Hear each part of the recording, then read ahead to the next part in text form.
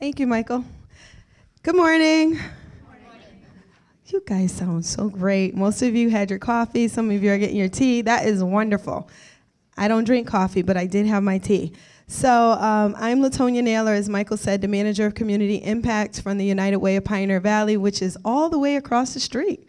And so I rushed over here because I wanted to be on time. Um, however, uh, bring your greetings from the United Way. And I've been doing volunteer engagement now for almost four years at the United Way. And as Michael stated, very much looking at volunteer programming as well as capacity building for organizations around community engagement and volunteer engagement. And good morning. I'm Lindsay Bennett Jacobs. I'm gonna have to get used to hearing myself in one ear. Um, and I'm the director of RSVP of Hampshire and Franklin counties. RSVP is the Retired and Senior Volunteer Program. I always say you don't have to be retired or a senior, you just have to be 55 or older. Because uh, I know a lot of folks in that age range are, would not consider themselves seniors or are not necessarily retired or semi-retired. Um, so we have about 600 plus volunteers in Hampshire and Franklin counties uh, serving in about 55 different organizations. Some of you may have advertised your opportunities in my newsletter, um, and I hope that those of you in Hampshire and Franklin County will connect with me afterward so I can be of more help to you on this topic. Um, all right, so we want to get a sense of who's in the room. Latonia and I are really interested in the fact that not too many people had volunteer in their titles who are attending today. So we think that's great. Um, that means that you may or may not have a lot of volunteer management experience training. So I really want to get a sense in the room of if that's something you know a lot about, if you feel like you're pretty knowledgeable about volunteer management. Anybody? Pretty knowledgeable? Great. So we got about half. And newer to the volunteer management scene, um, okay, great. So we'll try to speak to everybody, and hopefully, some of the more experienced folks can offer some advice. The other thing we want to get a sense about um, is what sort of organizations you're representing. If you are an organization with a small staff, who has a small staff? Okay, more than half probably. And a larger staff, bigger organization? Okay, great. Um, do you have an established volunteer program? It's been going for a while. Few folks. And do you have a new volunteer program or you're looking to start using volunteers more? Great, okay. So kind of look around at, at, your peers and we may connect you with each other as we go along. Um, and there might be a few organizations that are more volunteers than staff. Is that true of anybody? All right, yep. And other folks who have more staff than volunteers. Okay, so we've got a really good mix in the room. Nice. I like nice. that. I like it. Yeah. Any other questions before I? No. Lead them through? Okay. Yes. Great. Um, so I wanted to talk a little bit about the focus of the session. And when we first put our notes together and talked about this, Michael said, Well, that sounds great, but it sounds like a lot of volunteering 101. We said, Well, yes, because if you're doing all the basics right, then this is going to be a really easy process. If you're not doing all the basics right, you're really going to struggle. So we want to make sure that everybody has a good grasp on some of those key things that you need to do. Because when Latonia and I compare notes, we hear a lot of the same things. Right. And we want to make sure that you don't avoid, you can avoid those pitfalls. Um, so things like, well, I called this place that I was really excited about volunteering, and I talked to somebody, but then they never followed up. We hear that a lot. Right. Um, more than we'd like. Yes. you say? Yes. So we wanted to make sure that, that some of those things are going to be things that you can avoid by planning in a way that really makes sense with what you already have in place or what you're hoping to put in place.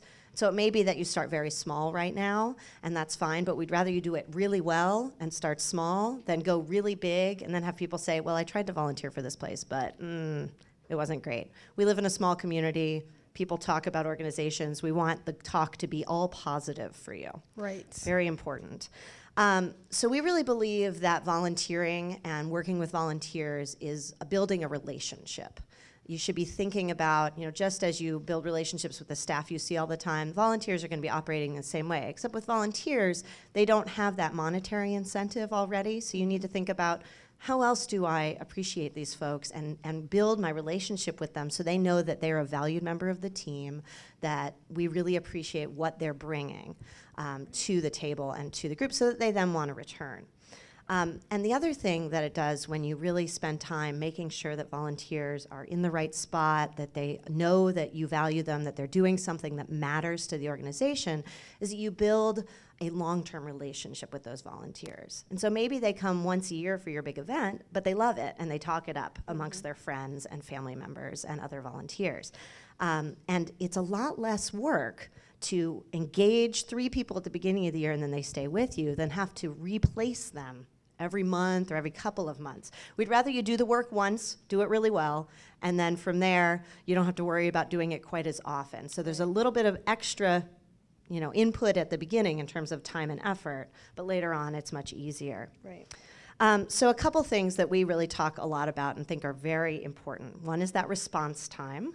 Um, make sure that you're getting back to people efficiently. And if it's if you're just straight out for a week and it's crazy, and you know somebody's sent you an email, just say, you know, I'm really busy. I'll get back to you next week, um, and then do it. You know, just follow up. Be honest about what you're able to do, what you're not able to do. To do be really honest with your volunteers about, you know, you have these amazing skills in this one area. I really need somebody in this other area. Right. Is that something you'd be willing to do for a short time? You know, really be right. honest about what you can offer um, listen really carefully because sometimes you'll see somebody come in like, oh, they're a marketing expert. I'm so excited. They have all this training. And they come in and they say, you know, I'm so tired of doing marketing. Yes. I have done it for 40 years and I don't ever want to see another flyer. Um, then you really have to listen to what they're saying and say, you know, I totally respect that. Let's find you something different that you're excited about. Right. And so, as Lindsay's given that overview, is really designed to help you understand why we, some of you who are already familiar with volunteering might say, okay, I, I know that already.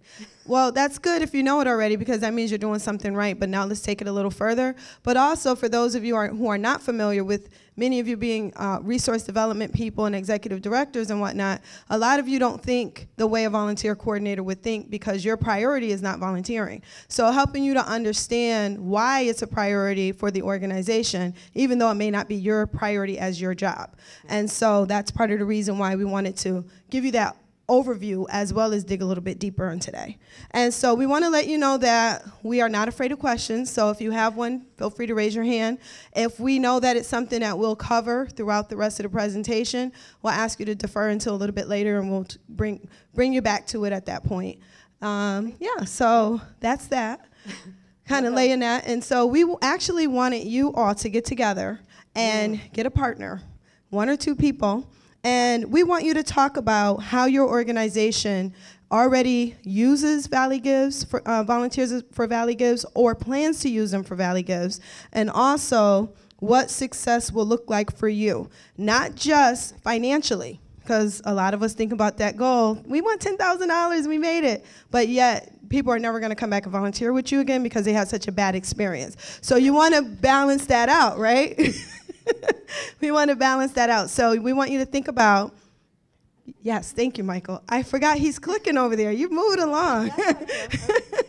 so yeah, so this is what we want you to do. We want you to this you can refer to this if you forgot what I just said. If you're like me and you have four kids, you're always forgetting stuff. So if I don't write it down, I don't remember. So if we we can have just a few minutes for you to do this, and then we'll come back as a group and kind of talk about it. And my one last piece of advice or questions you might think is, um, what goals can you meet while treating volunteers really well? So think about that. Um, and how might you use a modest success to build toward the future, if that's your goal? So, so thinking about, you may already have a goal in mind, but think about how those volunteers play in. So find, find a buddy, and give you a couple of minutes. Great. I think everybody has had great conversation already. That's wonderful. I'm really excited to hear uh, what some folks are doing. Would anyone like to kind of share what their goal is, particularly around volunteers? I will pick on you. Oh, yes. I learned is that um, is that um, we're trying to do a new part of our ministry, which is open a matern- um, open a guest home for moms on the streets, um, and there are um, other organizations out there that do have that right now, but a lot of them are um, maybe um, um, how do I want to say? We just want to open it for maybe two or three girls. The other ones in the area are bigger and they're already handling situations that we don't feel we could handle. They're more medical, medical things, things like that. So we would just want to make it a simple thing where if there was a mom, you know, threatening to be on the street or on the street, we could help her out and help her through her pregnancy. That's a new part of our ministry. So one of the ways we're hoping Valley Gives is going to help us is that um, by advertising, you know, doing the little website on the Valley Gives, we're going to add that to it, and then hopefully it'll bring people in for that aspect of our ministry. That's not our ministry. We're also hoping to raise some funds for the ministry we already have going. So it's kind of a multiple thing for us. Hi, I'm with Pioneer Valley Symphony, and we have a huge volunteer organization, but they're volunteers because they play in the orchestra, not because they do anything much else except for our board.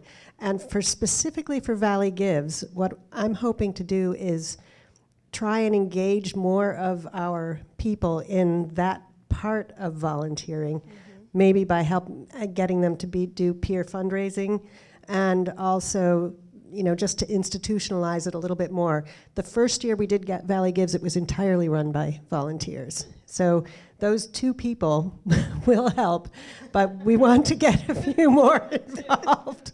So that's us.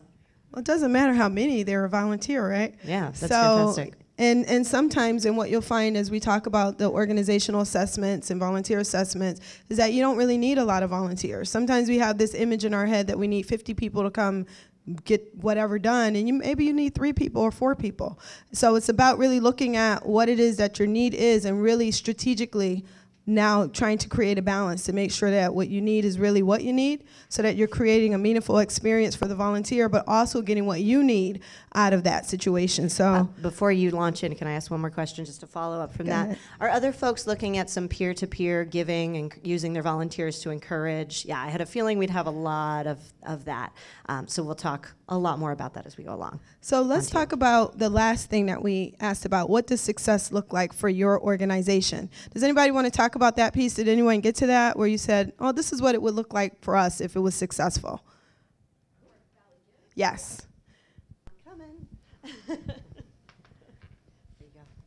I- I'm Sarah, and I'm with Girls Inc., and it sort of goes back to your last question. Um, we have a goal for how many giving pages we want created, so it, it answers both questions, but we're hoping to use volunteers to create 20 new giving pages. Wonderful. So like did that. anyone say to themselves, if we have XYZ number, then we will feel like it was successful? Wonderful. That is great. Yay, give yourself a hand. really, you should because a lot of organizations immediately they think money, bottom line. And the blessing with nonprofits is that we don't always look at it that way as successful already. So we're automatically a little bit ahead of the game just because we understand that it's not always about the bottom line. So knowing that that always is relative to uh, volunteer engagement as well is very important. So I am so happy to know that everyone in this room, except anybody who didn't want to raise their hand and they really felt that way and didn't want to be the only one, but um, I'm really happy to see that you get that because that really gives us a nice level playing field as we talk about uh, strategic volunteering. So, as you see, strategic planning, there is no magic. A lot of times people say, oh, they got, United Way got uh, 1,100 people to come out for day of caring. Oh, they're doing such a great job. I can do that. No. It takes a lot of work, it takes a lot of planning, it takes a lot of strategy to be able to do that. And and oftentimes what we'll do as the United Way is when we have organizations like yourself that want to do those things and they're not sure, they'll call me and they'll say, Latonia, you know, I really want to do this. Do you have any suggestions? Do you have any connections for me? Uh, because we're a resource as well as helping people get volunteers physically. We're also a resource for capacity building and also helping them to figure out what will work for them and what may not work, or who the players might be in their field that they don't know about or they're not aware of. So we talk about the cycle of volunteer management. And it starts with planning, goes into recruitment and screening, orientation and training, supervision and evaluation, and then recognition of volunteers. And if you do that successfully, the idea is that you will have volunteer retention. So, why is that important? Well, it's important because you don't always want to be in the mode of going out and recruiting volunteers. You want to be able to get you a nice pool of volunteers, and because you did everything right up front, you have five or six, let's say five or six people that are supportive, that love your organization. They love, I use the United Way and pick on us. They love what United Way does, and they want to be on our board, and they want to be in Day of Caring, and they also want to be in Valley Gives now because that's what we're doing because they're excited about what we do. And so when you go through that process, you get this pool of people, and next thing you know, they're advocating for you. Now, you don't have to do the work next year because you have a pool of people that are advocating for you to go out and do that work for you. So now, next year, you might have 10 or 20 people. The next year you might have 40 or 50 people. So it replicates, but it doesn't require you to be the person now using that effort every single year to figure out how do we strategize. And also just to let you know that we will make sure this PowerPoint is available to everyone in the room. So you can take notes on it as you need to, but also know you will get this information later.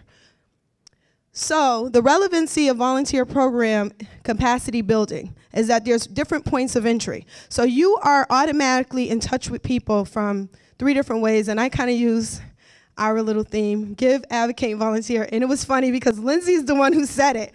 She's like, I work with the United Way New, Ham- um, New Hampshire Ham- County, Hampshire yeah. County. And she's like, and this is their thing, and they do this. And I said, oh, yeah, we do too. Yeah. So the the reason why it's important is because you may not call it give, advocate, volunteer, but in essence, that is what it is. Those are your stakeholders. The people that advocate for you, the people that volunteer for you, the people that give to you in some way, shape, or form, whether it be money, clothing, items you need, or their time. Because in essence, volunteers are giving of their time. So they may not have the money if they're 20, 25, they might be in college. But guess what? In 10 years, they'll have a good job and they'll have the money. And if you've invested in them and built a relationship with them, they'll be giving that money to you. Not only that, they'll be given their time, and maybe now their children are coming with them to volunteer for their volunteer for your organization. So now you're building sustainability. So that's why this is important because every person you come in contact with, you are marketing your organization. So when you answer the phone, right? and you're rude to somebody, which has happened to me a few times. I'm calling from the United Way to help somebody, and they're like hanging up on my face or keeping me on hold for a long time. And I'm like, here I am trying to help you. Imagine somebody else who doesn't know anything about you, and if you treat them this way, they're never going to come back to you. So, just from that, you know, just making sure you have the right person at the reception desk, the right person that's, uh, you know, conversing with people and whatnot. Those are all points of entry for people, and you're marketing your organization. And the other piece I would add about this and why I've found this so useful, even outside of the United Way, um, is you think about how you might have, you might be an organization that has a lot of volunteers, but none of them are giving. So you think about, okay, now they already have enough investment to give of their time. How do I encourage them? It's really a natural progression. How do I encourage them to now give a little bit of money? And it doesn't have to be a lot. Maybe the goal is we're going to get, mm-hmm. yeah, we're going to get 20 people are going to give something. But th- right now it's just that number of people. But it's helping them to sort of make that jump. Um, or maybe you have a good base of donors, but they're not engaged with your organization in talking about it in the community or in giving their time. Well, how do you then flip that? Okay, I'm really glad that you every year will give a little bit to our annual appeal, but how do I think about getting you in here so you really have a deep understanding of what we're doing? You know, and you really can can feel why this matters and then you're going to advocate. You're going to talk a lot more about my organization and how great it is. Because that first level is oh united way mm-hmm. i know them. They're good. That's your mm-hmm. sort of level one. And level two is they do all this work let me tell you about it. And getting them to that level is sort of the next goal. So you can bring them in in a bunch of different ways depending on what your organizational structure looks like now. And then you want to kind of keep them moving so that they really can become their own spokespeople for the organization. Exactly. And so you want to be intentional and professional. I can't stress that enough.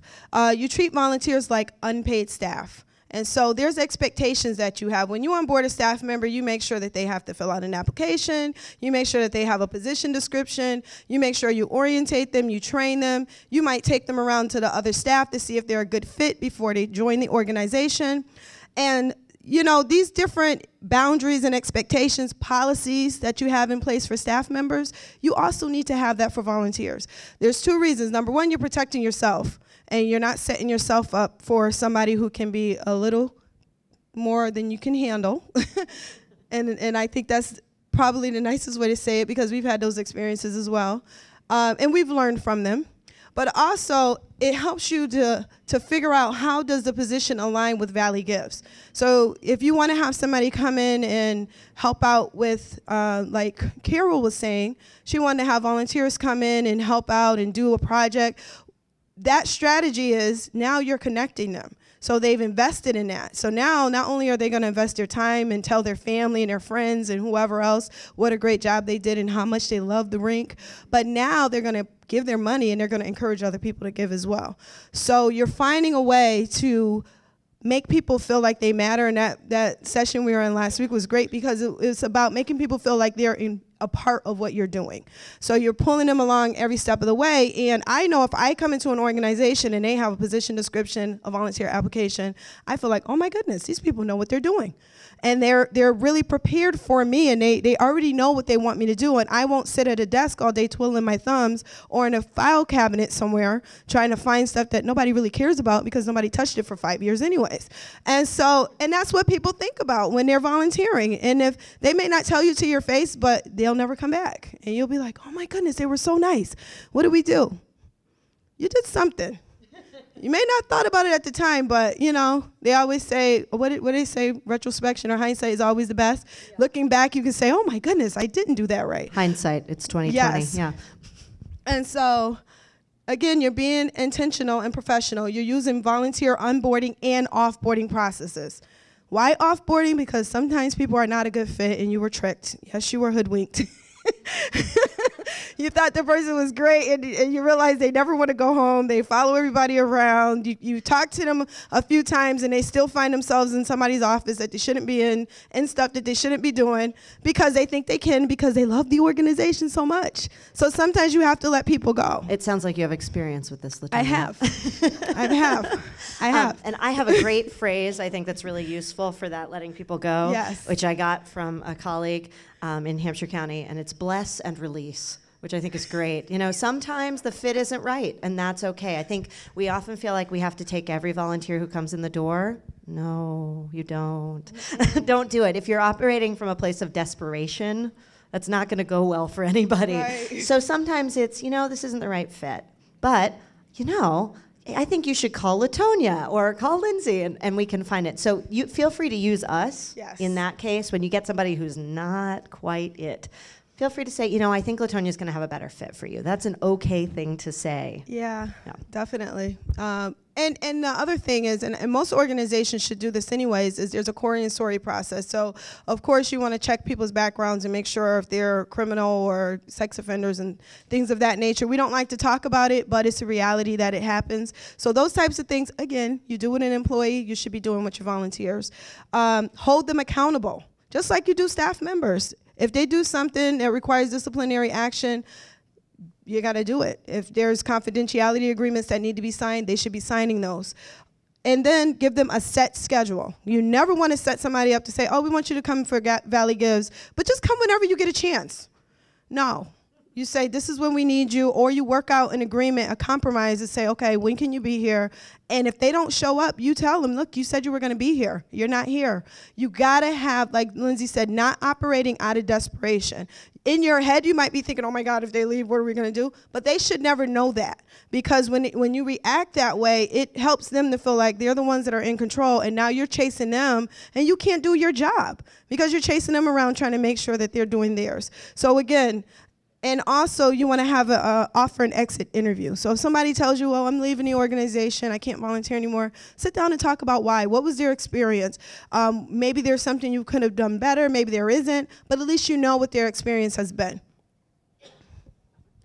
And so now we want to talk about your organization and is it ready for volunteers? Because even if you have a volunteer program you might look at this assessment and say, wow, we still need a lot of work.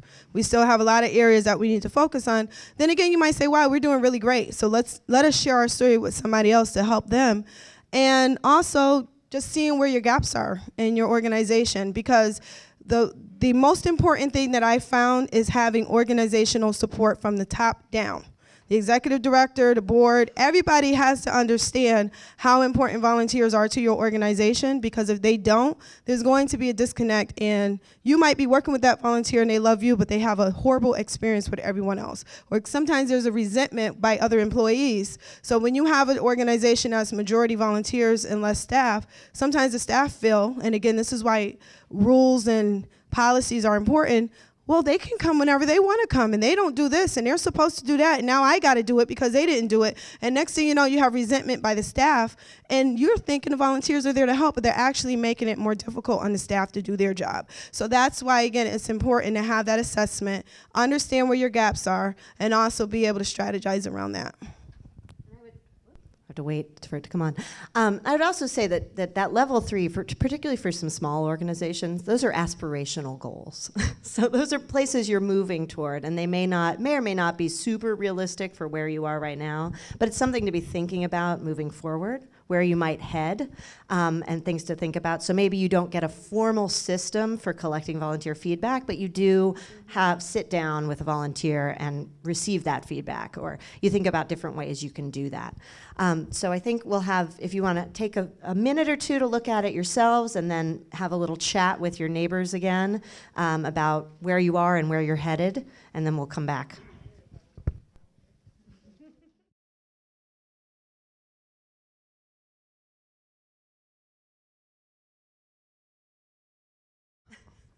As we talk about our organizational readiness, right?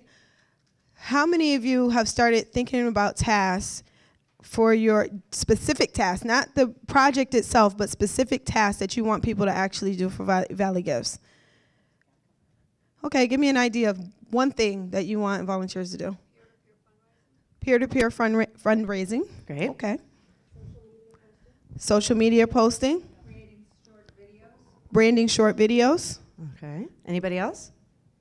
Okay, that's a, that's a good mix of things. It's reasonable. Now the question is, would you be okay if somebody asked you to do that? Particularly from an organization that you don't always rep- already represent.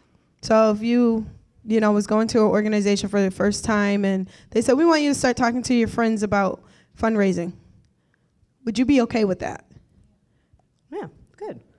It's something, and, and it's not that it's a good thing or a bad thing. I don't. There's not a good or good or bad answer to that. But the the reality is, we have to make sure that whatever we ask a volunteer to do, it's something that we be willing to do ourselves.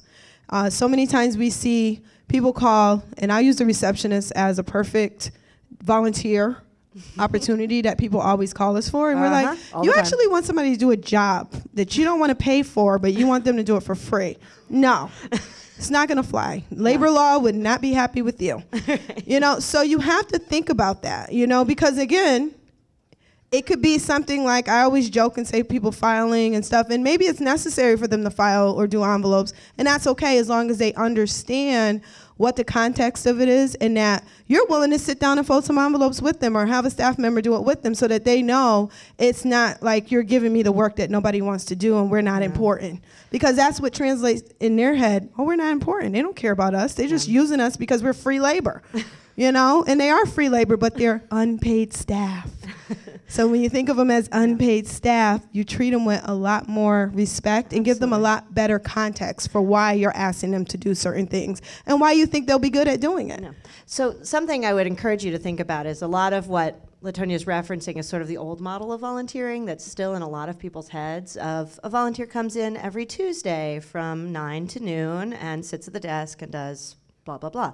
Um, and that's definitely an older model, and that worked really great for the greatest generation and those folks. But baby boomers and below, very different animals when it comes to volunteering. Mm-hmm. They want purpose, they want projects, they want acknowledgement, not necessarily the luncheon or the little pin, but they want to know that they're making a difference. Right. So it's really that that's why this question of would you do it is so important because it if you would do it, then your volunteers would probably do it. And I think it's particularly useful to think about would you do it for a different organization that you have fewer ties to or you're just getting ties to? So maybe if you don't have a really strong volunteer base and you're hoping everybody's going to go out, you're going to magically acquire some new volunteers and then get them out to do fundraising think about what tools you're giving them. Think about are you giving them enough? Do they really have a sense of the organization? Are they real, did they have the feeling that they need to go out and do that? Because if it was an organization that you liked, but you didn't know a lot about, and somebody said, Well, can you go fundraise for our organization? One, fundraising is a scary word for a lot of volunteers. So think about how you frame that for them and make sure they feel comfortable and like they can do it, that they're being given Right. the tools. And we'll talk a, a, quite a bit more about that as we go on. And and I like that you said that because if if you were in your mind saying peer to peer fundraising, you might say to them, "Would you like to talk to your friends about what we do?" because to them that doesn't say fundraising. That says we're talking to people about what we do. Um, I use this term called ambassadors, and we have this Stay in School campaign. I say, "Would you be an ambassador for us?" What does that mean? Just go out and tell people what we do. Tell people about the message. So they have this fancy title for what you know is fundraising or whatever. You have to oftentimes translate it into a language that's not going to be offensive to people. Even though, again, we know what the intent is, mm-hmm. but you have to think what's going to be welcoming. What's your target? And Liz is going, Lindsay is actually going to talk more about that, so I won't get into that. But again, looking at going back to this assessment that we have. So if you're in, if you're a one, you probably are in a very beginning stage of trying to figure out what it is that you even want your volunteer programming to look like. Um, how do you really want to use people? Or maybe you know what you want to do, but you don't have the whole organization on board or the right people on board from the organization. Uh, if you're a two, you're actually right in the middle where you can move right on over to perfection with a little bit of notes and, and tips. And then three, you should be up here talking to other people about what you've done. and if you feel like you have some three categories or even some two categories, I hope you'll pipe up as we continue on with suggestions, ideas, um, because I think peer-to-peer learning is one of the best things that we can do on this ca- on this topic. So before we get right into the recruitment, Michael, thank you for keeping us on He's track. having fun. We're almost there. We're, we're on time. We're on schedule, and we're really happy about it. Uh, we just want to make sure: were there any things that stood out from you in this assessment where you said, "Wow, we're really doing a great job in this," and you want to share a nice story of that? Anyone? Or wow, this is something I really want to work on. We'll take those too, because there were a lot more of those folks. Anything in particular that you're hoping to change? Yes. Well, yeah, I saw both, some things. I thought, you know, um, we could change and some things I think that we do now that um, is very helpful to our volunteers. And one is, um, you know, we do, we do try to thank them and throughout the year, there's a lot of different things that we do to, um, that we have fun with. And that's important, I think. You know, to, we have a volunteer picnic. Um, we have, um, like free coffee uh, every day uh, for the we have 65 volunteers a week that come in regularly and um, some of our volunteers are new some have some have been there a long time and some are you know kind of been with us five six years or seven years and um, so we have kind of a variety of volunteers but it seems like we do always have new people coming in and that are interested and um, we're always looking for new volunteers so um, I think one thing that's very helpful is we had, th- this is just for example, we have a program we started called Sew for Us. And um, what we do is we do baby baskets for each new mom who comes into our ministry. Um, these moms are basically maybe in a shelter, hotels, like I said, somewhere on the streets. So it's a, it's a very, a group that's very needy. And um, some have been abandoned um, because they got pregnant. So their families said, We don't want anything to do with you. We just put you through col- college for a year, spent all this money, and now you're ru- you've ruined your life. And um, they, they want to um, continue the pregnancy, so they come to us for services and we help them out. So they don't feel abandoned. They can go on with their life, they don't commit suicide or whatever, you know. So it's a, a ministry that encompasses a lot of different aspects. And one program we started was uh, Sew for Us. And women make quilts for the baskets. There's $500 worth of items in every basket for the new mom. And then we continue helping her till the baby is two. So it, it stretches out and stretches out. so we have a lot of different aspects. And then we have piece of property, so we have to have people for yard work. We do try to put people where they would like to be, but sometimes there is a task where they go, oh, I don't know if I can do that. But that's the really task we need done. So, it's- ca- so we can I ask Send you? them away. Can I ask you a specific question then regarding that? Sure. So when you think about the program and what you need to do as a program, are there certain areas where you look at and say within your organization, we do a wonderful job of the ministry work, but there's some infrastructure things that we need to do better as far as bringing in volunteers or getting them to come back and help us, or any gaps like that that you say? Um, yeah, there is, there is gaps, and that's because we took on a piece of property. And Right. we need help with that.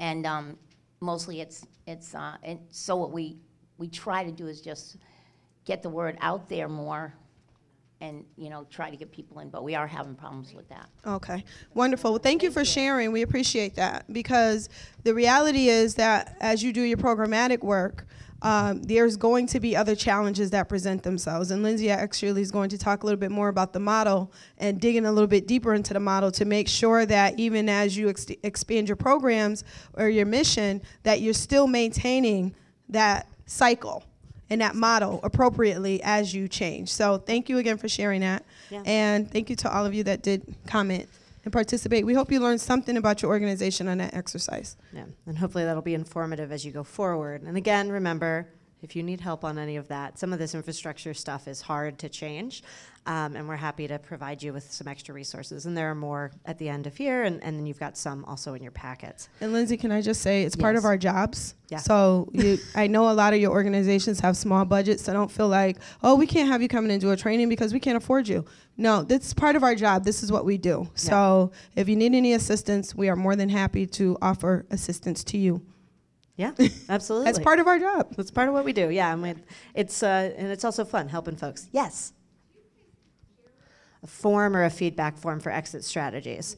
Um, okay, we're gonna write it down, and we can We do have one, and we can make Yeah, sure that you get one. Okay, great. Yeah, and there there are a lot of materials out there, and, and one of the last pages of our, our last slides has a lot of different online resources, some of the stuff we're pulling from, and also we just have things. So if you have a question like that as time goes on after the workshop, feel free to say, "Do you have any templates for this?" And we'll help you find them. it's not a problem. We also can help connect you to other organizations who are doing different parts of this really well, because there are quite a few out there that have some good stuff going on um, and have some great resources. I always think you shouldn't have to reinvent the wheel. Um, so if we can get you halfway there with a Word document, we'll do it. Great. Okay. So we're going to head into recruitment and placement and talk a bit more about because that's that's going to come up. Now, I think a lot of you are already thinking along these lines, which is really positive. You're thinking about starting with people and Latonia came up with this terminology: vested, connected, and or vetted interest in your organization. So what we're 6 weeks out as we're talking about. It's coming right up probably not a lot of time if you're looking for people to do peer-to-peer fundraising or something like that. It's probably going to be with people you already have some sort of connection to. Um, depends on the level of formality how engaged they've been. Are they officially a volunteer? Do they just kind of like you and follow your facebook page? You know what's the level of engagement you have right now? So think about that. But this is a great place to start when you don't have a lot of time and you need some help. Now if you are doing a project if you're going to get people out coming for a number of hours to do something. Um, you know, like we had the example of people coming to help clean up at the rink, that sort of thing. You can actually pull from a different group of volunteers for that project. You can pull from your same existing group of volunteers, um, but you might cast that wider net at that point. Um, so, yeah, just think about when you're looking at people you want to get engaged, particularly if it's just I want you to talk about our organization on social media and share the link. If that's if it's if your level of engagement is going to be pretty comfortable for people who have a more casual relationship with you, then yeah, go to people who have attended your events, you know, what, whoever you've got sort of in the database, that then you can absolutely go to those folks. But definitely start with those people and think about how you're going to really make sure that they feel involved and understand what you're getting up to. Um, I had a great example. Our, our funding comes through the Corporation for National Community Service. It's the same funding as AmeriCorps and Vista, those, those programs. It's, it's a federal program. Um, and the executive director, the CEO of our organization once was talking about, you know, she's seen folks that have to go and sit and do the mailing and the fundraising mailing. She said the best thing that I saw was the director would then go in and say, you know, really thank you for coming and doing this because without you, we couldn't raise the money that allows us to provide all of these services, X, Y, and Z. And so it really helped people to feel like, oh, you know, yeah, I'm sitting in a room stuffing envelopes and sticking on stamps, but it's going to translate into this other thing. So making sure people have that feeling. Um, so in terms of casting a wider net, um, there are a lot of different ways you can do that. You can go to the, the next one if you want. I think it has it. Oh, you're trying. It's coming, we think. There it is. Okay, great. Um, Latonia shared her portal where you can list opportunities, which is great. Free commercial, there we are. It's free, it's great. Um, and there are a couple others out there that you can use, but this is a great one for the area. Um, I also have a newsletter that I run every month. Um, next one will come out beginning of April. So if you're in Hampshire or Franklin counties and want to get a couple people to come help you with something, let me know. I can put it in the newsletter. I have uh, business cards for myself and for our volunteer coordinator, Pat Seacard. Um, so you can always be in touch with either of us on that in that regard. Um, but think about you know connecting to people through social media, through traditional media. Um, we actually have had a lot of luck with the Gazette, which I think is cool. Um, who knew? Newspapers. It's still working. Um, so you might think about uh, contacting, you know, there, there are free sections, a volunteering section, and you can just email newsroom at gazettenet.com with your little listing. If you get it in by Tuesday, it's out by Thursday, it's posted, and we have a program, we have run an exercise program at senior centers, and just by posting that a couple of weeks, we got 18 new volunteer leaders which was fantastic. So, because we were like, well, let's try it, let's see what happens. And it was really successful. So, you might think about looking at those free opportunities as well, because people do still read the paper. And people with time still read the paper. it's a very useful tool um, in that regard. And also, um, so the other thing I do want to mention before I go on to the word of mouth piece um, is that if you're interested in looking at how you market to recruit volunteers in particular, um, there's a volunteer coordinators network that meets uh, every quarter, and it's meeting at Rockridge Retirement Community, which is in Northampton, right off 91. Their next meeting is Thursday, April 14th at 10 a.m. Um, and they will be talking specifically about marketing. And I know it's going to be great because Pat in my office, our volunteer coordinator, is leading that discussion. And she has with her a volunteer of ours who is a retired marketing professor, does all my materials, is the most fantastic person in the world. She's great. And so the two of them are going to be leading that discussion. So if you're interested in specifically thinking about marketing to volunteers and for volunteer recruitment and some really great tips and tricks, um, that would be a fantastic meeting to attend. Um, And Lindsay, so- can I can I add something too? Oh, yes. I'm over here. I'm like, You I'm hearing the there. sound, and I'm like, what's happening? So locally for the United Way, we Mm-hmm. also have a volunteer engagement network. Yep. Um, and so anyone who's in Springfield or surrounding and you're not able to get out to the meetings in Hampshire County, we do meet quarterly as well. And so just for you to know, so they offer trainings, we offer trainings. A lot of times we'll bring Mass Service Alliance down, who's the state volunteer commission. They do trainings for us as well. We gather the people and they'll come in and do them. So anytime you're thinking like oh there's some things that are really pressing for your organization again reach out to us and say we we really need some help in this area can you get us out of training or could you do one for us or whatever the case may be and we can definitely work through that thank you Yes. Exactly. So the Volunteer Coordinators Network, which is open to anybody in the area, uh, Thursday, April 14th, 10 a.m., and I think it runs 10 to 11:30 maybe. Um, and that will be at Rockridge Retirement Community, which is off exit 22, maybe. Uh, don't quote me on that. Uh, 21, yeah, one of those. Um, it's in Northampton. It's in Northampton. Um, and they'll be hosting, there'll be coffee, that sort of thing. Um, but I will also have Pat's business card, so you could contact her and say, I'm interested, um, and she can make sure you stay in the loop and have that information. Uh, should be a really good resource, though. And also, if you're not able to make it and afterwards want to get in touch with her or me and say, Do you have some handouts? We can share those as well. Um, happy to do that. Great. Um, so the last piece in terms of this this recruitment piece that I really want to talk about is, and I'm, I'm going to beat this horse until it is really gone, because it's my this is this is my soapbox. This is my life soapbox. Is about word of mouth. Um, and this was a great little image that Latonia found that talks about. It says. Um, 59% of Americans believe offline, meaning face to face or voice to voice, word of mouth is highly credible. Um, and 49% believe online word of mouth is highly credible. So people are getting, you know, that. How do you find things these days? How did I find my doctor? It was on Facebook. You know, that's happening so much more now. Do you trust your friends to tell you, yes, this is a great organization. Yes, you know, you're going to get something out of volunteering here or contributing here. Um, and in, a, in an area that is small, where a lot of people know each other and talk to each other, it's so important that your word of mouth is positive word of mouth.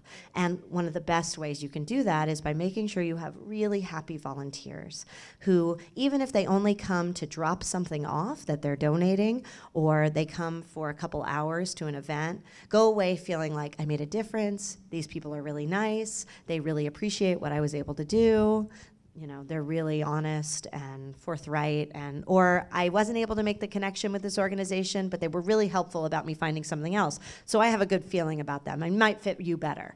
You, you want to make sure that that conversation that we don't have any direct control over um, we can't guide that conversation is is going to be a positive one because um, it really does make a difference. You know, people want that good feeling, and there's so many choices out there. You know, of who they can support. We are a we are a land of many nonprofits, um, so making sure that people get that really positive, warm, fuzzy feeling when they deal with yours. Right is so important. And it's all those little things as we talked about before. It's you know you put out the good message.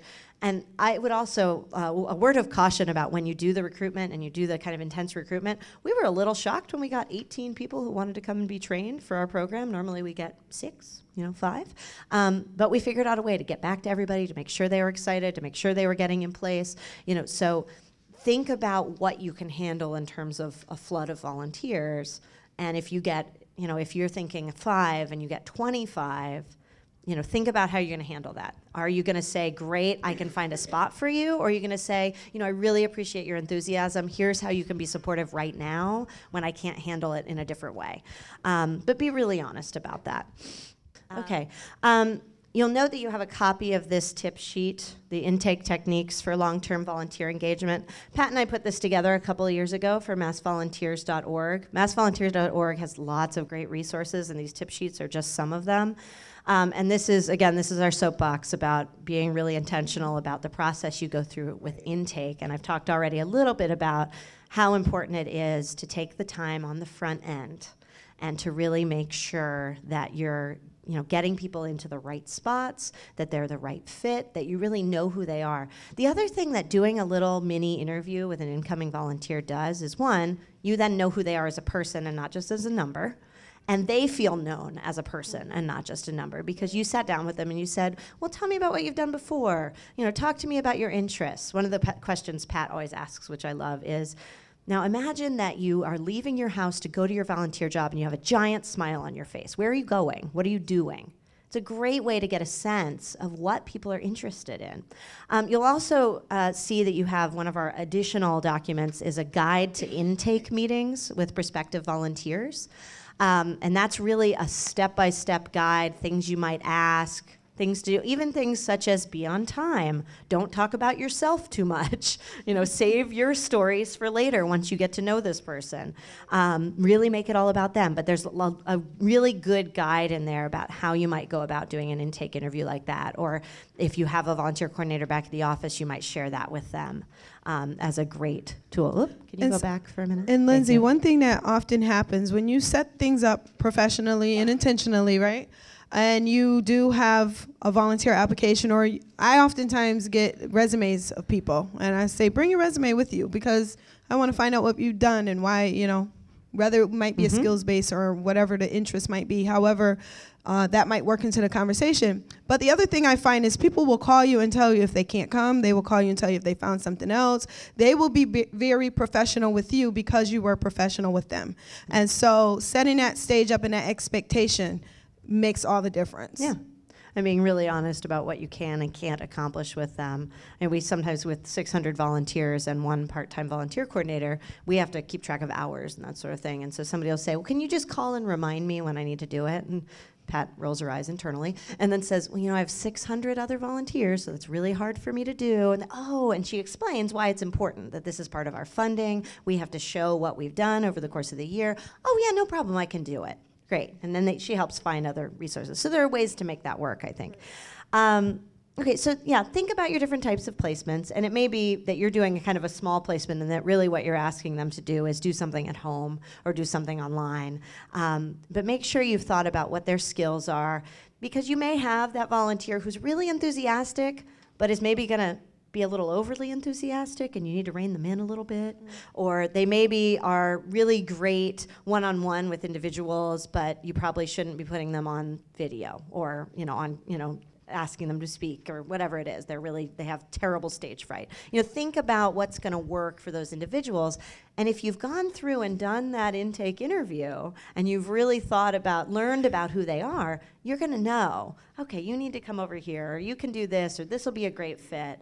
Because we have, we've had a couple volunteers who are like, I love to do lots of different things. I'll do filing, I'll do all that, but no phones do not make me get on the phone. Like, okay, I want to respect that, you know? I'm not a big phone person either, I understand. And and it made me think about the social media thing. So we were, we had a conversation about this, and a lot of times people make the assumption we need a social media person, and they're looking for some kid who's 22 years old or 18 in college, and then they find out that kid does not understand the context of your organization, so people get the wrong idea of what your organization really does.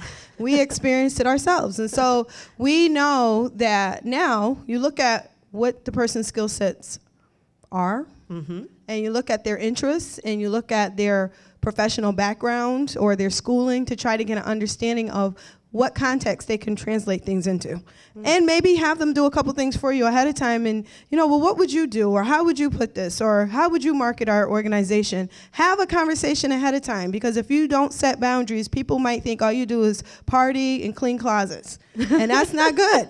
because somebody might say, why would I go and volunteer for that organization or why would I give my money to that organization? Those people don't work. They don't do anything. but you do. But that person doesn't have the understanding because they're immature in a lot of ways. The party made for a great photo op, but it yeah. wasn't, you know, it's not the important work of your organization. Yeah. Right. They still don't understand that. So they yeah. need to be trained in that area. Yeah. Right? So just be mindful of that. Yeah. And and one of our best social media people are in the mid 50s and really loves what he does and everything and, and understands everything and able yeah. to put it all together in a way that's very effective. So think about that. Yeah. Don't don't walk in with an assumption. And definitely don't underestimate your older volunteers' comfort with social media. A lot of them are on Facebook. A lot of them are very comfortable with that or can get comfortable fairly quickly. Not everybody, but they'll tell you if they are or aren't. If they're troglodytes, you know, that'll be fine. Um, they, they usually will say, oh, no, I don't do that, that, that internet stuff. You know, okay, cool. then you talk to people, you know. Will you pick up the phone? Will you see your neighbors? You know, talk to them in that way. That's fine. Finding ways to engage them in that. But I think it's, it's really important to realize that they can be different, you know, at different points. Checking our time here. We're, we're good. Keeping us right on track here. I love it. Um, so I want we're going to take a few extra minutes before we get to that question. So you can just hang out. Yeah, I know you've got a trigger figure over there a little bit.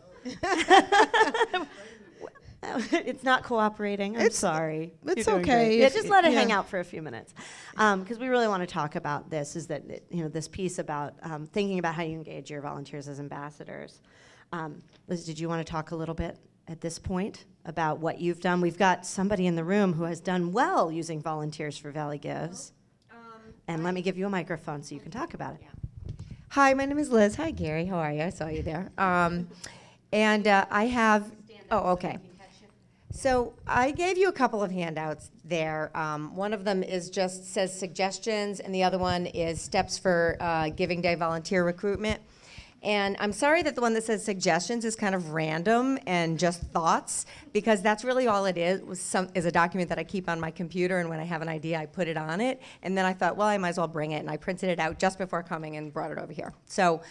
Um, what this information really is is specific to this particular event, and what you really need to do first is to develop a plan. And so some of these ideas are from the plan that we're working on at the United Way right now for our Valley Gives Day. Some of it is information from an organization that I worked with in the past that, that did this type of promotion. So they're just different things that you can specifically ask a person to do because the most important thing with a volunteer for this day is that they have a specific job.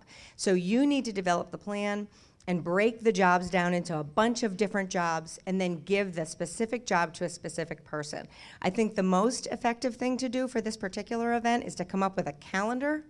This is a social media event. This is an electronic fundraiser, so it really has to be social media oriented, and all of the tasks have to be electronic or- really, you know, heavy electronic. So um, come up with a calendar, a sharing calendar, come up with a bunch of really cool visuals that you're going to use on your social media, and then get them out via email or via um, personal message, private messaging on Facebook, or however, to the people that you've identified as being your sharers. So whoever it is, is who's with the band, you've got a great situation. The, the orchestra, you've got a great situation because you've got all of these volunteers who don't really do anything but play an instrument. But if you say to them and you ask them to do one specific thing, and you say, on April 27th, will you share this on your social media page or whatever? Can I just say? Yep. Most of our orchestra and chorus are not on social media. So in that particular situation, in that particular situation, because we have board members, we all have board members who might be in that same situation, believe it or not, who aren't on social media,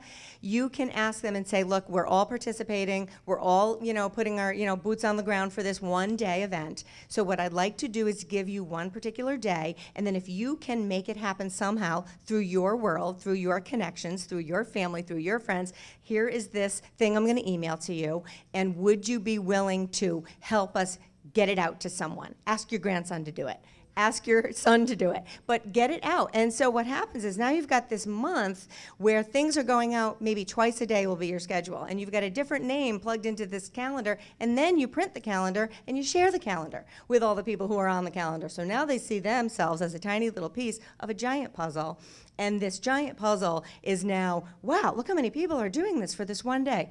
And, and it, it builds a plan that's concrete, and everyone has just one thing to do. Because I find that when I ask volunteers to do things, if they if I ask them to do one thing for me on one day at a particular time, they're more likely to say yes. If I say, "Will you help us with Valley Gives?" they'll run away because it's too big and, and nebulous, and they don't know what it means, and they think it's scary. But if you give them one specific thing to do, most likely they will say yes.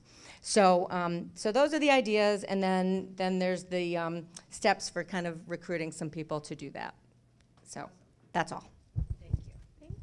We appreciate you having some useful information. Yes, sir. So I was just going to add one thing in terms of the, ooh, getting coffee. So in, in, when we've been talking about Valley Gives, one of the big changes this year as opposed to years past is it's in May. So it's not December when it's cold and dark. It's, you know, hopefully a nice day and a nice sort of season in New England. So one thing to think about in terms of volunteers is that if your organization has more of a comfort zone of, you know, in-person on land as opposed to online engagement, that one could do events leading up to it. You know, so there's spots for volunteers where you want to do a table, if there's a fair, you know, that makes sense, that's organic to getting the word out. So ultimately, you're pushing them online, but the engagement is really where your, your organization is comfortable, or maybe it's a push. But there's lots of ways of doing it in person um, to get them there, because the outreach and the engagement is really information sharing and motivating. Where they end up will be online. So I think just thinking broadly about that, taking advantage of that, it's not December. You know, people are not overwhelmed with holiday giving and cold weather. That there's actually a little bit more breathing space, literally. Absolutely. Um, and I'd also en- encourage you to think about, you know, uh, using volunteers that maybe you're at the point where you just want to get some people, you've, you've got a good team out there, but you need some help in the office. Feel free to think about how you might engage your volunteers on the internal project base even thinking some of this stuff up. You know, anytime I'm, I've got something in the sort of marketing surveying realm, I call on my, my volunteer who is going to lead this workshop with Pat and say, "Uh, Can you help me think about this? And just get her in the office and we talk it through, and she does a piece and I do a piece, and it's really a great way to engage that volunteer. And so maybe your goal this year is going to be, you know, on that level, is I'm going to engage one or two skills based folks who can come in the office and work through this with me or maybe have specific skills about writing that they can write up what the appeal is going to be or some of the little postcards. You know you've got these great postcards that you can use in person um, or help me think about how i reach you know if you're looking to reach an older population that's not very internet savvy get somebody in who kind of exemplifies that set of your volunteers or your donors and ask them those questions you know how how do you think you could get to your friends? How do you think we could reach your neighbors you know? Um, engage them in different ways. So think about how you can use those folks. So maybe you're looking and you know that you've got this group of volunteers who have done some great stuff but have you really mined what their extra skill sets might be um, and talk to them about other ways that they might be able to support what you're doing Does everybody understand what we mean when we say skills-based volunteering? good good point yeah. Everyone? No. Okay. Because uh, it's very important, as Lindsay was saying earlier, you, you, sometimes people don't want to do anything that's based on their skills. They only, I don't care what I do, I just don't want to do marketing or I just don't want to do a website. They know you need it, but they just can't wrap their mind around it right now because that's what they do all day at work. And so it unfortunately doesn't always measure out, you know, balance Yeah. out for us. However, at the end of the day, um, there's still opportunities to figure that piece out and maybe say, well, we know you really don't enjoy doing this, but where are some opportunities or how can you help us so that we could find someone or maybe give us an outline or a way to get it in there where you still can pick their brains a little? And, and maybe they'll say, okay, just this time I'll do it, but next time I'm not doing it again, you know? Yeah. So having that conversation, and I think the biggest thing that we don't want to forget is it's a relationship. You have a relationship with them, so talk. Ask questions, sit down, have coffee with them, invite them to a staff meeting where you're talking about Valley Gives so that they understand what the context of it is. Do you text? Do you send out text messages? Maybe you don't go on, on social media, but you send out text messages. Can you text a few people on that day or do something like that? So having a conversation with people actually kills out all the assumptions because now you know what you're dealing with, you know what the situation is, you know what the barriers are and what the obstacles are. it's like you're reading my mind yes So if, if some of you were on the webinar, this came up, but Sarah from Girls Inc. was, was presenting. I just want to highlight one thing because I still think it's a great idea. Several people talked about the peer networking, you know, which for most people, most organizations is new. For Valley Gives, we have not done it before.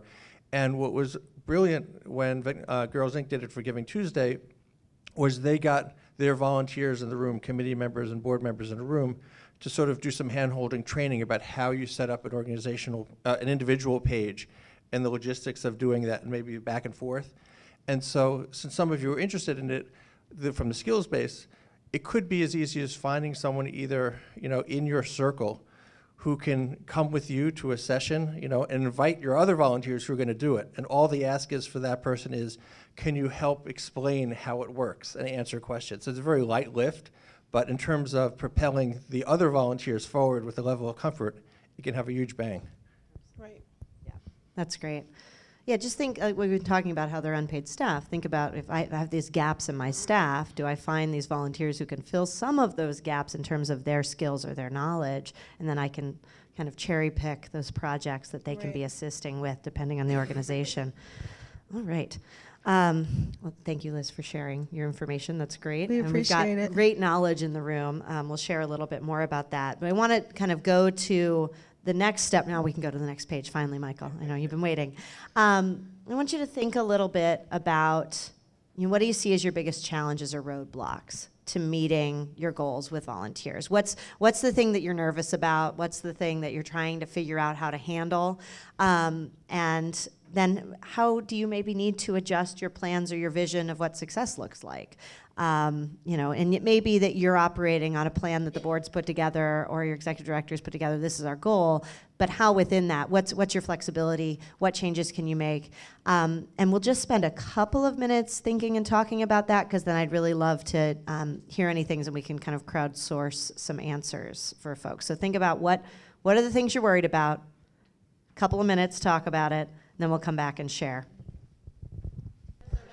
All right, if we can bring it back, I'm really interested to hear more about what you've been talking about. Maybe some, some folks we haven't heard from yet who want to share with us their questions or concerns, things you're, things you're, burning questions or things that you're, you're facing that you're trying to figure out. Yeah, let me bring this over to you.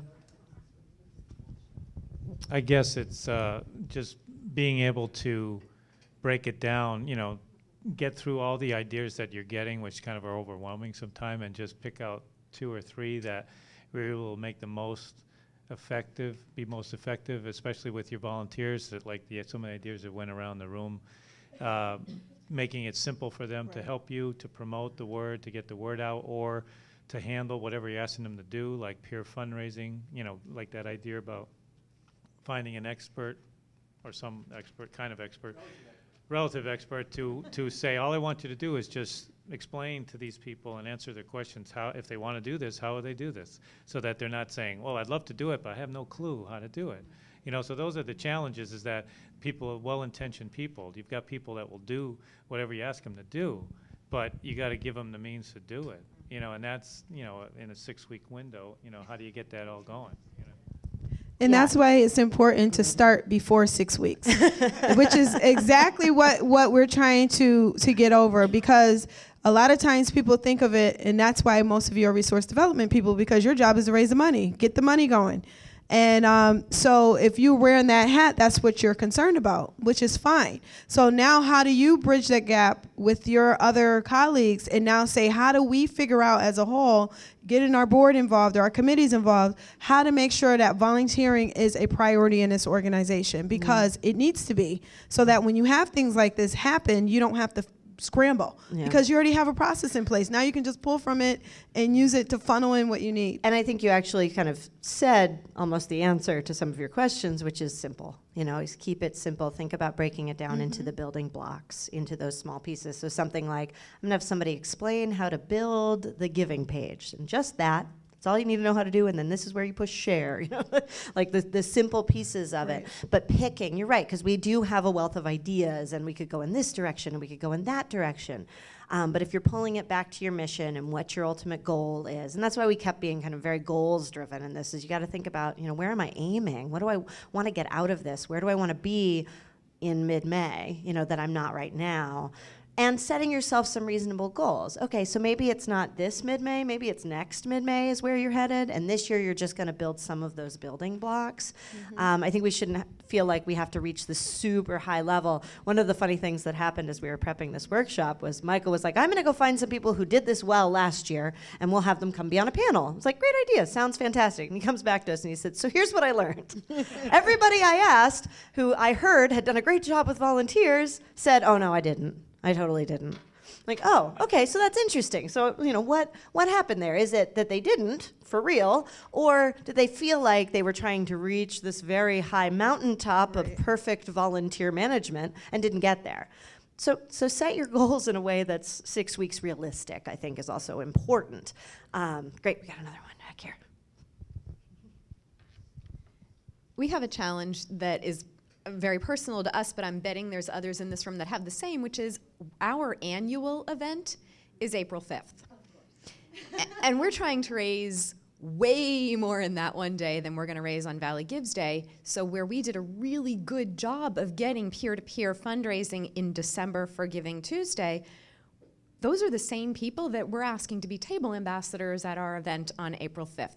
So we don't want to wear them out. So our challenge is reaching out to new people who are just as dedicated to, to our organization as any of the as our board and committee and table ambassadors, but still being able to reach our goal of having 20 new giving pages. So the timing is not great for us, but I'm guessing that there's other people that have other challenges in July or whatever the month is that gets chosen. Absolutely, that makes sense. And it sounds like you set uh, some a realistic goal around okay, 20 new giving pages. You're not setting like a, we have to reach this number or anything, but the engagement is there. And how do we inch those volunteers from this level of engagement to this level of engagement? And then next year they're here. You know, that I think that's fantastic. I think we got another one back here. I try not uh, try not to monopolize the, the mic too much because I have I have like three ideas that are buzzing in my head. The, f- the first of which is I, I want to address that um, uh, on a couple of different levels. Is that um, so? Previously, I was the community outreach manager for Greater Springfield Habitat for Humanity. Um, one of the events that Habitat does is this really great event called Men Can Cook, which actually takes place on May 3rd, Valley Gives Day. And, and what I suggested to the committee is that is an opportunity because what you can do with that is um, uh, for the people who show up at the event, put a table tent on the table with a, a QR code that says, oh, by the way, you're at this really great event. And um, it's Valley Gives Day, and if you haven't given yet, here's another opportunity to do that. And make it a virtual event. I mean, it's all about Facebook, right? So for those people, and, and by the uh, way, the event is sold out. So for those people who can't show up, if you would have spent $35 going out to dinner that night, make a $35 donation to Habitat via Valley Gives. Um, and I don't want to speak for Jamie, but Jamie and I were just talking about Jamie works at um, Mercy Hospital, Sisters of Providence, and her employee campaign ends the week before Valley Gives. Is that right? And what I suggested to Jamie is use it as an opportunity to extend your employee campaign and say, geez, if you didn't give through our regular appeal, you know, whether it's direct deposit or um, payroll deduction, give to Valley Gives and support Sisters of Providence. So really great, you know, opportunities. Use it as an opportunity. The last thing I just want to share is talking about roadblocks. Our group was talking about um, communication and consistency and branding. And so what do you do with those I'll call them rogue volunteers who go off, who sort of go off message, right? And so, is there a way that you sort of can, can control that message when people are setting up their Facebook page? And the example that I used is again, I used to work for Habitat for Humanity, and Habitat has this really great three year strategic plan called 30 and 3. It's all about building 10 new homes. Serving 10 new families through a rehabilitation projects and um, another facelift project. And once upon a time, we had a board member who should have been reading from the same script and said, and instead of saying we're building 10 new homes in three years, would say we're building 30 th- homes in three years. Okay, so let's go back to educating volunteers and the importance of, you know, you don't want those volunteers out there. So um, you, you do have to be careful in crafting messages for your volunteers and making sure that everybody's reading from the same script. But the point that was made was at the same time, um, giving is best done on a personal level. So, yes, you want to encourage people to personalize when they are sending messages out to people in their Rolodex and their email address um, to allow them that flexibility. But there does need to be some control of message. So. I'm so happy that you said that. Two things. Um, Lindsay's going to talk about it because Brendan gave us a really good uh, testimonial about their experience with Facebook. So we'll talk about that in a second. However, to answer your question about messaging, I actually um, had a training that I was in about a year ago, and the woman said what she does is gives all of her volunteers, board members, little business cards. And on the business card, it says the mission, it says all the key things she wants them to say when they go out, so they don't have to think about it. And all they have to do is look at the business card. So they don't feel like they're reading a script. It's small enough that it can fit in their wallet or their pocketbook, but it gives them the information that they need to say, so don't go past that. this is what you need to say. And the other thing is setting up the time to do like a luncheon or a breakfast and oh, we appreciate our volunteers so much or we appreciate you and anybody that wants to get involved, let's talk let's do a lunch and learn or a breakfast and learn kind of thing. And you talk mm-hmm. about what your tasks need to be, who might want to do that or anybody have any suggestions? Does anybody have any ideas? You're inviting them in to the process and in other words, they're now taking this on as their own project as well. So now mm-hmm. it's not just Jeff's project, it's not just Latonia's project, but it's our project. Yeah. So now they'll come up with ideas you never thought of. And you're like, wow, that was really good. I'm glad yeah. I asked. Now they're volunteering to do stuff you didn't think about. And they're going to help you because they felt like they were a part of it. Absolutely. Um, so, yes, thank you for the reminder. Brendan came up earlier and gave me an awesome story and a reminder about a great way to reach out is if you haven't uh, taken advantage of Facebook ads yet, they're so great. They're cheap. It's awesome. Um, so he was telling me they spent 20 bucks to push out a video of the Putnam boys basketball team playing. Got thousands of views more than you were used to, and it um, and then- it resulted in 100 plus new likes to their page. So then the next time they posted something, 100 plus people more may, had the potential to see it. So it's a great use. $20, you can specify, you know, which group you want to reach, who, where, what towns. Very excellent, and it's pretty user friendly. Um, so that's that's really good bang for your buck on all these levels. Over there, she's coming. So thank you for that tip too. That was a good reminder. And it says you can boost your post. So if you choose boost post, it gives you options, and you can spend. It, you choose how much money you want to spend. I think Appreciate I'm. I'm going to piggyback on that Oh, yeah. because I totally agree. I, we just started doing this, and I'm thinking I'm putting twenty dollars a month into our budget, which is like nothing. Mm-hmm. And Facebook is the best. There's also ways that you can do things on Facebook and not pay. Um, if you have somebody like for Easter, we had somebody say, "Okay, we're going to donate 700 pounds of ham."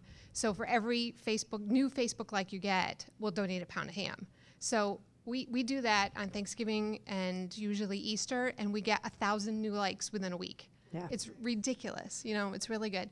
But I wanted to just say the biggest challenge, timing, I, I agree with you guys. Timing. Wondering if anybody else has trouble with donations in the summer, if they go down, and if um, we find more people are willing to volunteer in the summer. So I don't know Mm. if that's something they might consider moving Valley Gives to a summertime. Even though people are on vacation, it would still maybe draw people in. Every time is a hard time, and you have a season.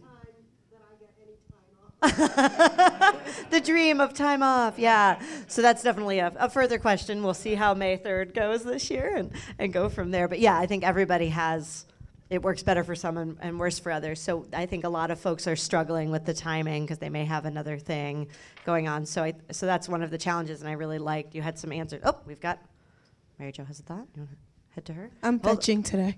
Yep. At this this Hang is on. my fetching time. Your fetching time. Yes. Okay. Fetch away. Uh, I just wanted to mention um, another sort of um, way to help your volunteers sort of prepare and actually help your organization is um, Facebook actually rewards you the more the more activity you have outside your posts on your page. Like if you have people commenting and you have people sharing, Facebook actually rewards you by um, then showing your post to more people. Right. And their Facebook's constantly changing. I managed a Facebook page for an organization for several years. Um, so you can ask your volunteers to, you know, make sure to like and comment and share those posts throughout the year so that they become accustomed to, you know, visiting your page. So it's not just for really reaching new people, but it's also sort of building that community throughout the year so that your Facebook page is, um, you know, continue Yeah. it continues to be rewarded in their algorithm that Facebook sets up. So Mm-hmm. Yeah. just wanted That's to pass great. that on. I love that we've reached the community sharing learning portion of our workshop. It's my favorite part. Everyone's like, I have an idea. So this is fantastic. Um, anybody else have comments on that? We have a few more. Well, can we can we wanna come back about? to it in just a 2nd Mhm. Just because we have two more slides we want to get Yep, through, and then we can come back to questions, Yeah. and then for anyone that needs to go, then they are able to. And we'll be happy Um, to stick around and answer some more questions. We do have a document which will you'll find in the presentation. We have a link to it. It's called potential barriers, and I know one of the things Julie s- talked about was timing and everything. There's actually some solutions to potential barriers that people have when trying to engage volunteers. So things like timing and you know not having enough time, not having enough people on board, and all of that. You don't have it yet because I didn't want to overload and kill trees, but um, but you can access it electronically. So, and, and again, we'll show you where that is on a slide. So, the next thing that we want to talk about really quickly is just a reminder that. Next slide. is that remember it's a relationship. And the reason why I say that, Lindsay and I were talking and we said, you know, it's almost like you go on a date, right? I don't know what that's like because I've been married for 15 years, but I remember, you know, you go on a date, you got this all planned out, and then what if you show up to a date and the person doesn't show up? They don't call you, they don't say anything. Or what if they send somebody else in their place because they didn't feel like showing up? Or what if they just send you a text and say, sorry, I'm not coming, but you're already there waiting for them to show up? So these are the kind of things that volunteers go through. So no, they're not meeting you at a place for lunch, but when they make a commitment to your organization, the expectancy is that you're going to follow through. And the same thing you feel that way as well if your volunteers coming into your relationship. So we want to make sure that we're doing things like calling people back. We want to make sure we're doing things like setting up ourselves to build this relationship with another person and and understanding that the relationship that they're building is not necessarily with us as, as an individual but with the organization but we're that liaison for the organization we're the ones that help them to represent the organization represent the mission of the organization so we want to make sure even down to the littlest things that we are constantly showing appreciation recognizing the work that our volunteers are doing and also thinking to ourselves is this something I would do? How would I feel if someone did that to me?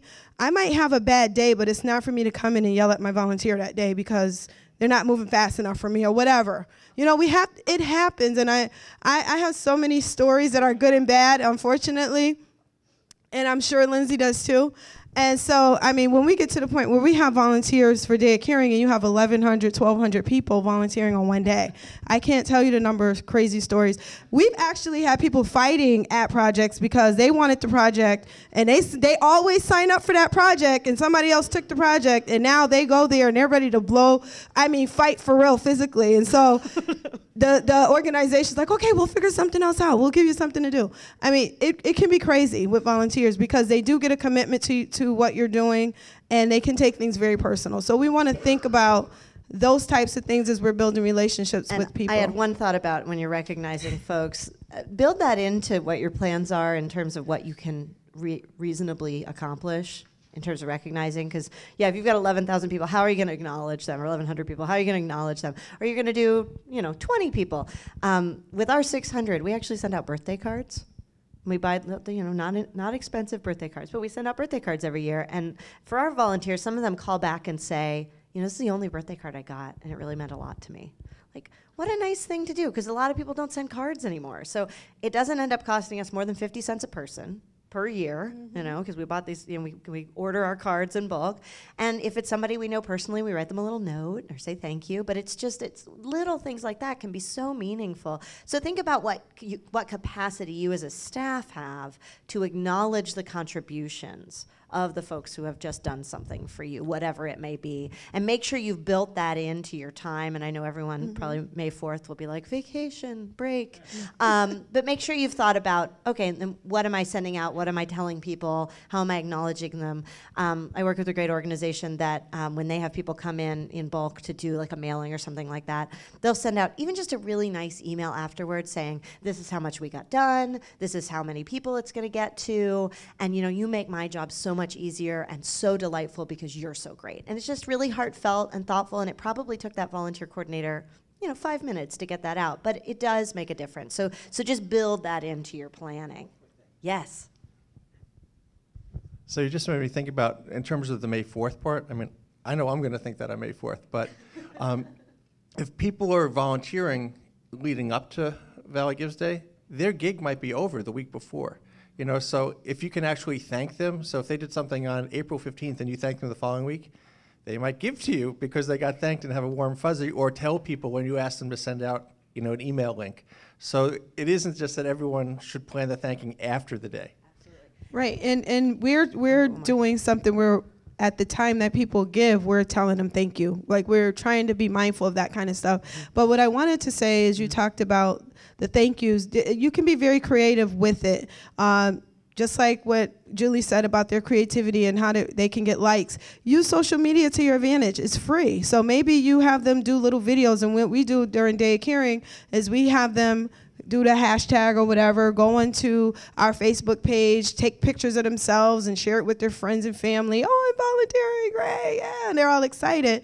But also, it, they will send out a video, which we're looking at doing this year, is really making it more of a universal type of video where we send out and say thank you, show pictures of the people that are involved, and say we really appreciate this. Yeah. The final thing that we do, which which always works out amazingly, is telling them what the value of their time has been. So there's something called the value of volunteer service. There's a state one, um, there's a nationally recognized one, and ours is twenty-seven dollars and eighty-five cents or something now Per hour. per hour. So what we do is we quantify that and we tell them at the end of day caring because you participated, we've been able to leverage three hundred thousand dollars. So now they know I've been a part of not only doing something for a local organization, but I've contributed this whole amount of energy and money that was saved because of what I've And done. if you search online value of volunteer time, it'll pop right up for you. It's right there, and they have they do break it down either nationally and our state average is much higher than the national average, so it's always good to go with that one. If you're not already including that in board reports and all that, make sure you start doing it. Um, it's a wonderful thing, and it's such a great tool to acknowledge the volunteers and say your time is valuable. Let me show you how much.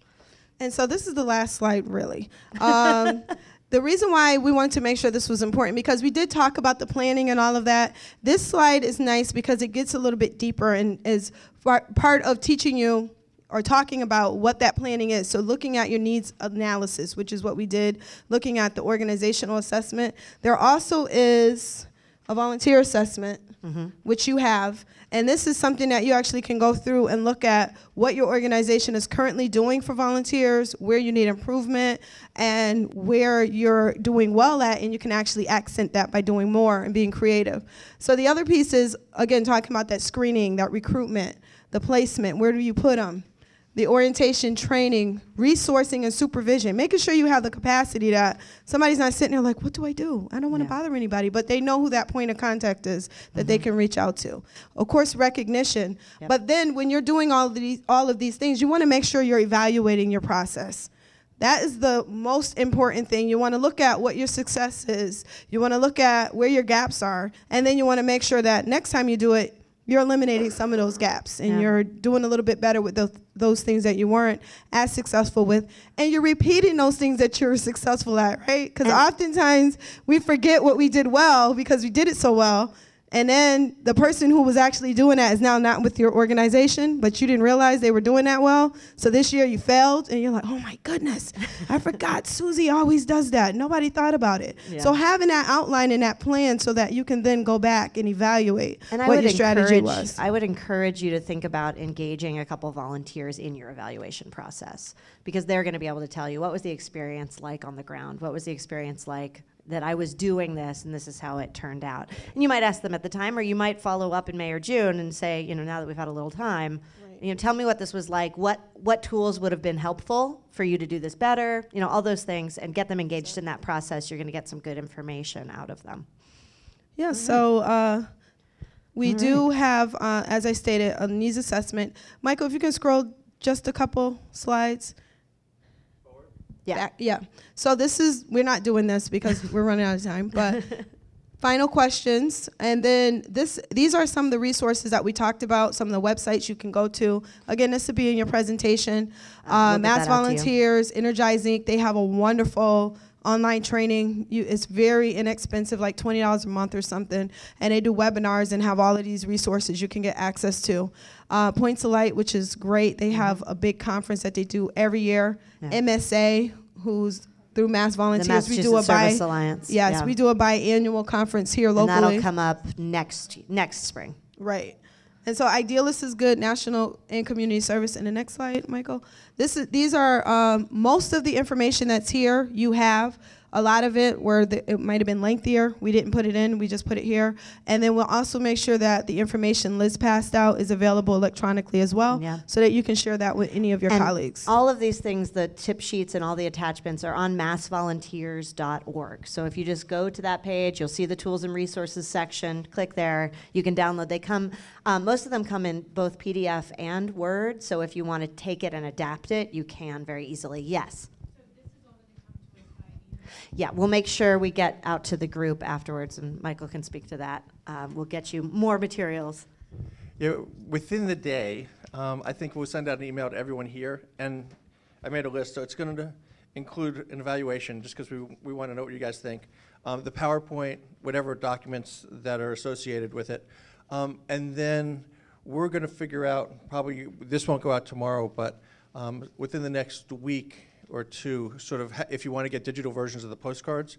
But if you're interested, Margaret Everett, right here, who is my, my teammate, if she's got her business cards at the table, so if you want to just grab her card and proactively, you know, send her an email and say, I'd like to get this stuff when it's queued up, let me know. Um, but we will get you everything by tomorrow. Um, and then Brandon's doing the video. That might take a little bit longer, but we're going to put that up on the website. The big picture, um, I didn't do, I think, my spiel at the beginning, but what the foundation did is create a capacity building program of which Valley Gives is now a part. And so it's sort of taking that approach of Valley Gives as a way of helping organizations be more effective in fundraising and sort of growing it. So the goal is to really build a repository of information. So in six months, if you you know you start having a volunteer conversation and you say, I went to that training, where can I find that stuff? It's going to live on the website. So the goal is really to grow it. And so we'll get you stuff tomorrow, but ultimately it's just going to keep getting bigger and bigger. Thank yeah, thank you so much uh, for coming and participating. We really appreciate it. We're here to answer more questions for a little while, but we also want to be respectful of your time. It's noon, it's lunchtime, so thanks so much for being here, and I'll hand it back. Thank you.